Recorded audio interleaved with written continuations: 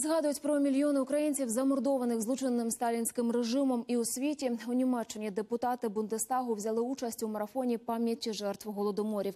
Тамтешні політики поділилися відео, на яких запалюють свічку на знак солідарності з українським народом та розповідають, чому про це лихо так важливо говорити.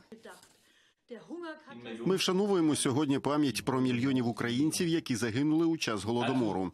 Тому я хочу з Німеччини надіслати сигнал солідарності в Україну та запалити свічку у своєму вікні у знак взаємоповаги з нашими друзями, братами та сестрами українцями. Ми вшановуємо сьогодні пам'ять про жертв та працюємо над тим, щоб їхня доля ніколи не була забута.